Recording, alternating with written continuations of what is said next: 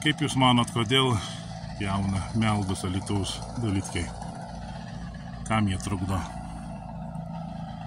Toks atplaukia valtis ir pjauna.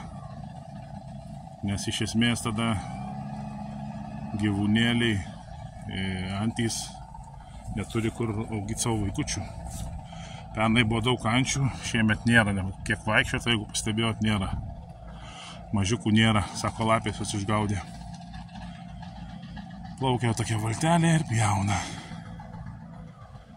Taip išeina Lietuvos, Lietuvos dalytkai nereikia gyvūnėlių. Ar čia tik cesilio šaikai taip.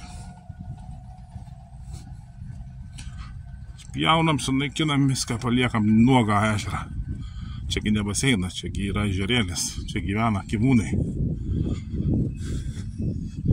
Koks grožis vaikščios bus po ežerėlį, jeigu nebus ten ančių. Dabar yra visas kaifas, kad eini ir matai gyvūnus. Jautiesi gamtoj. Tai aš dar Ceciliui rūpi tas ar ne? Ar jam tik tai viską svarbu pinigus įsisamint, kažkam tai pervest mūsų pinigus, o visa kita pofik. Kaip jūs manot?